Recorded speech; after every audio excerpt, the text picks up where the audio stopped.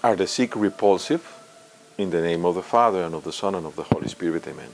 This is Father Angel from the Mission of San Andrew in Tijuana, Diocese of Mexico of the Orthodox Church in America.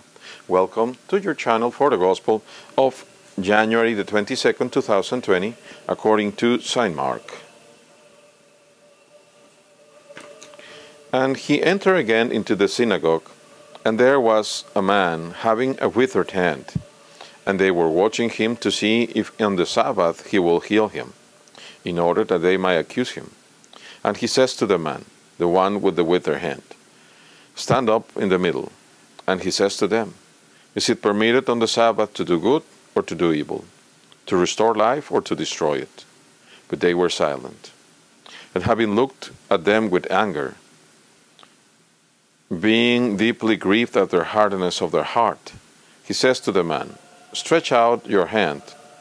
And he stretched it out and was restored, the hand of him.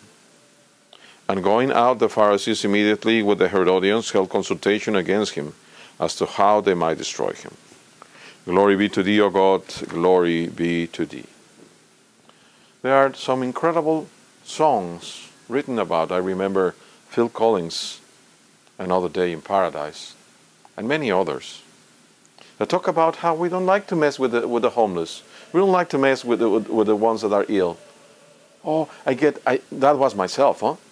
I get so depressed going into the hospital. I can't bear it. No, no, I can't. Really, really.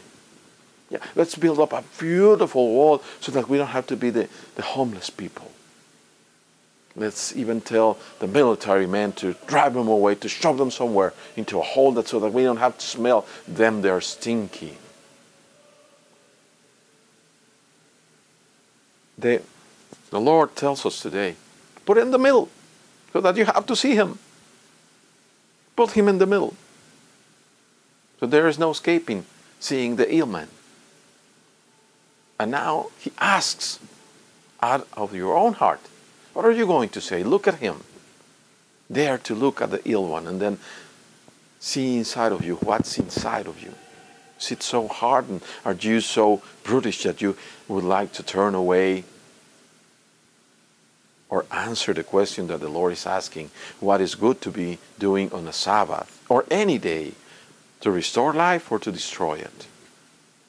The ones that will be hurled headlong into the hell, into hell, are the ones that plan to destroy him and everyone. Because they, their hearts are so hardened. They immediately devise how to kill Jesus they would not be able to turn around and say, This can't be done. And you know why? Because it's easier to harden your heart. I remember when I was a young child, well, not a young child, but uh, I was 12 years old, that my heart was aching for many things. And then I decided right there that I didn't want to feel anymore, that I would harden my heart. And for many years, I became like that.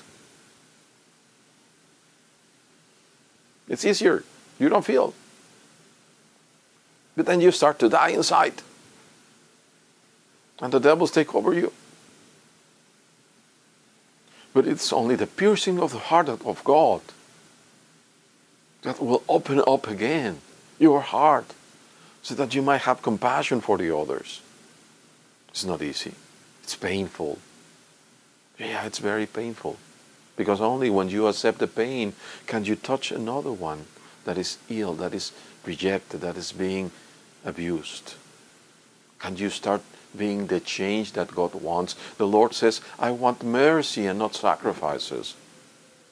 And He talks about all the time. He talks about this. May the Lord, in His mercy, shine His face and His love upon each one of your hearts that you may come, that you may become to be transforming him. For blessed is our God, always, now and ever, and unto ages of ages. Amen.